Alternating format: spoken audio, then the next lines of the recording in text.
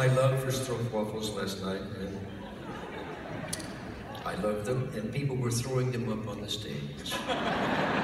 So if you'd like to come by for a coffee and a waffle,